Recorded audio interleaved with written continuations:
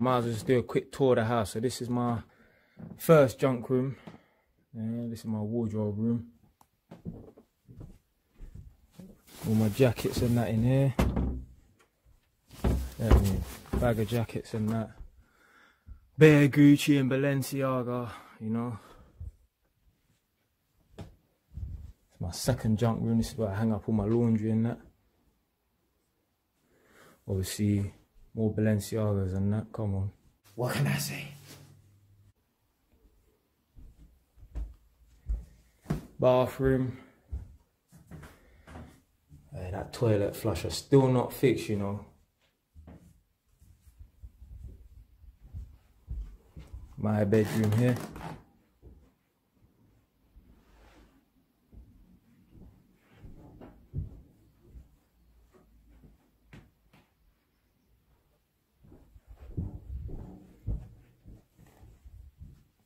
Got my diffuser. So basically you put essential oils in it, turn it on, and steam comes out. And it makes the place smell nice.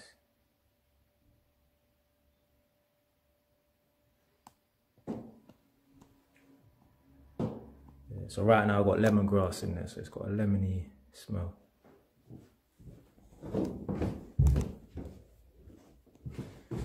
Get me, come on fam. I gotta represent. You really know what man's dealing with. What happened to you, dog? Hallway downstairs.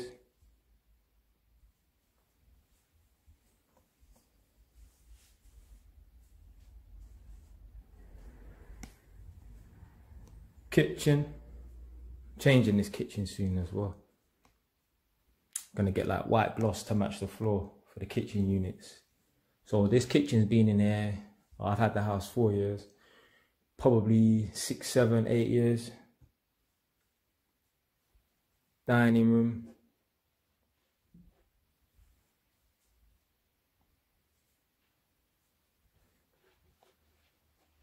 And the infamous empty living room. Done now, come on man.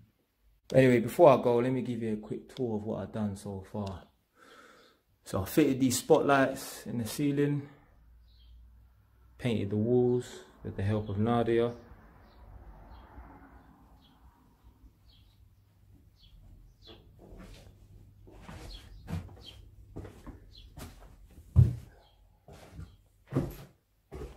Raised the socket in that corner over there. Installed two sockets in that corner there. Gave the walls one coat of paint. Needs another coat. The kitchen.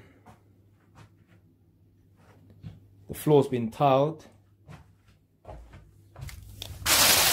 As you can see here. But I've covered over the floor because obviously I don't want the floor to get damaged or anything like that. The floor's also been tiled down there as well with the same colour tiles as in the kitchen. But I've covered the floor because obviously I don't want it to get damaged.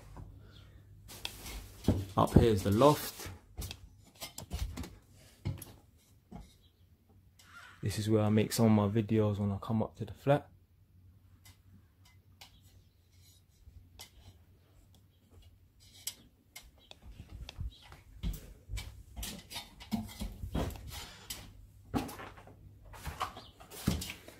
The bathroom, I'm going to retile the whole bathroom. The walls on the floor. I'm going to change the bathtub. Uh, shouldn't need to change the toilet though, should be alright. Yeah, that's about it for now. So imagine, I showed you my three bed house earlier. I just showed you my one bed flat just now.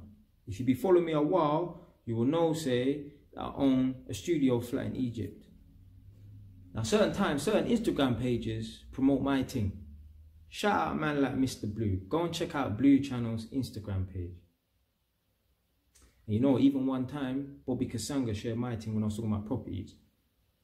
The other day, Blue Channel share one of my videos when I was talking about buying a Rolex is a dumb idea when you can put down on a house. Some idiot put down in the comment section below because you have to remember when man talks about this property thing, I get bare pushback from people. And someone said, oh, social media is a facade. So he's basically saying that I'm lying, that I've got these properties and that. Some people think, oh yeah, it's just a hater. It's not just hate. When someone don't believe that someone can own two or three properties at a young age, that's a reflection on themselves. They don't believe that they could do it, so how could someone else do it? Imagine this. Imagine I said to Alan Sugar, you know Alan Sugar is, isn't it? Multi-billionaire. If I said to Alan Sugar, yeah, in the next five or six years' time, I'm going to have 10 properties to my name. People say, yeah. Do you know why? Because he's a successful man. He's got money. He knows it can be done. He's done it, or at least done the equivalent of it. But someone who is not on the right path, someone who's not striving for success and greatness, they can't see it because they can't see themselves doing this. How can they see someone else doing it? This is like certain people back in the day, they see people driving Mercedes and they're like, how can they afford that? Like, what are they doing? They're doing something dodgy. They look at their bank account, they look at their salary, and they're like, well, boy, I can't afford to drive a, a car like that. So how can someone else? So when you get hate online, it's not just as simple as, oh, that person's a hate or whatever in it. No, no, no, no, no. Certain times, the reason why people hate, the reason why people try and put down what you're trying to push out there, the narrative you're trying to push out there, is because they can't see it themselves. That's why they don't think it's possible. Yeah, don't get it twisted. These are properties up in Northampton. They're a third of London prices. But it's better to have three properties, or at least two properties, or at least one property, than have no properties at all. Living in your mother's yard, on the first floor, in a box room. So, yeah, man. This is the narrative I like to push out here, innit? Yeah. You can be a black man or a black woman. You can go to jail. You can mess your life up. You can get a skill, get a trade, turn your life around, and get on the right path to success.